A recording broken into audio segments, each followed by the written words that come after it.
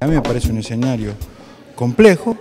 pero me parece que eh, la decisión política de ir adelante es correcta y que realmente en este país, la aplicación absoluta de la ley de medios audiovisuales, me parece que horizontaliza la comunicación, la democratiza, termina con los monopolios y los oligopolios en nuestro país y me parece que esto es auspicioso para la democracia, para la calidad institucional, para la pluralidad y la federalización de la comunicación, que es un elemento fundamental, fundante de una democracia. Bueno, el viernes 7 de diciembre llega el momento del fin de la medida cautelar que interpuso el Grupo Clarín contra dos artículos de la Ley de Medios, el artículo 45 y el artículo 161.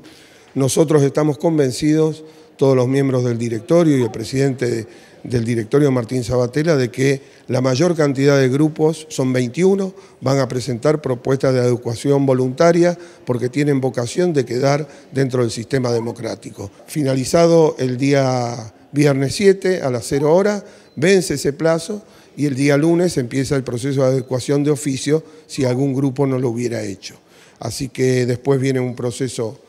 lento que va a durar entre 120 y 180 días, en el cual el Estado va a hacer la adecuación de oficio de los distintos grupos y bueno, y todas aquellas señales o radios que no estén alcanzadas a lo que pueden tener con la nueva ley, eh, serán ofertadas para que otros empresarios o asociaciones se hagan cargo de la gestión de ellos. Lo que sí debe estar garantizado es la continuidad del servicio hasta tanto aparezca un nuevo oferente.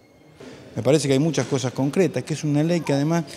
este, ha iluminado su entorno, digamos, tiene esa particularidad, se ha generado todo un proceso de producción de contenidos, vía el Inca, eh, cantidad de películas, el tema de la televisión digital. Yo creo que ha